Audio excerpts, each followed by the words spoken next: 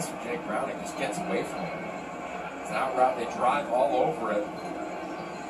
Chelly does a nice job there to save that from being a pick six. Fuba's just sitting on, just squatting on that out route.